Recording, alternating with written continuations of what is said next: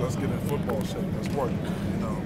So uh, my my uh, most hated drill was the 40. You feel what I'm saying? I, I don't have to train for that no more. It's just like I train for football, football, football, which I love to do.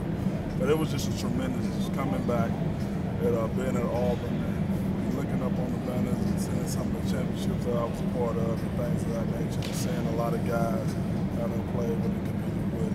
Yeah, it was, was great. And when you look to Right, right, I mean, is right. that going to be it? I mean, you're going to have to be at a three four probably. Right, three, four, four, three, whatever. You know, But man, you, a man your size is generally at the nose. I mean, Right. you're not going to be at the, the three or further Right. out too Right. much. Too I understand. No disrespect. No, I understand But no, I, I understand. It's just uh, like I waited at 322, so you know that nose position, which I love. So it's um, it, it, it all gonna work out great. It all gonna work out great. It's just it's fun to be on the line. See Belichick here, and he's got one heck of a nose tackle over the last Right. 10 years in Wilfork. Right. Do you look at it? Is Wilfork a guy who when you look Oh, to Vince in your career Wilfork was? is the epitome of nose tackles. He really is. You know, uh, um, you know, Casey Hamptons and all them guys have left.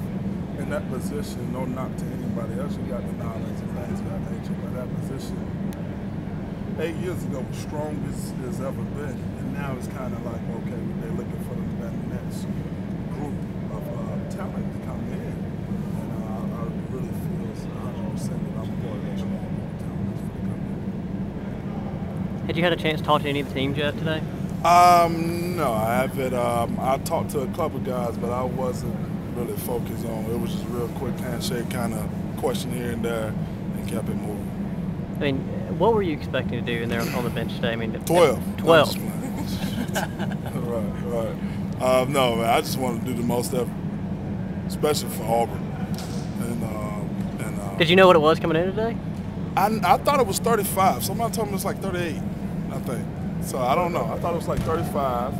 It did. Um, I thought, like I told them, I thought I had about three more in me, and everybody screamed 40. And I was like, whoa.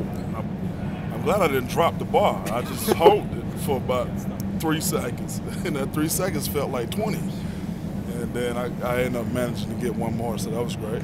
What was the most you'd ever done before today? I think the most I ever done was 33, 34.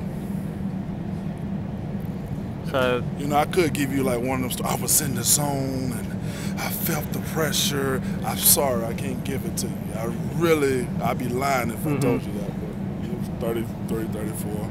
So, so like you basically you did exceed your expectations. right, right. It, it was um, it was um, when I when I got the first three, I was like, okay, this is gonna be interesting.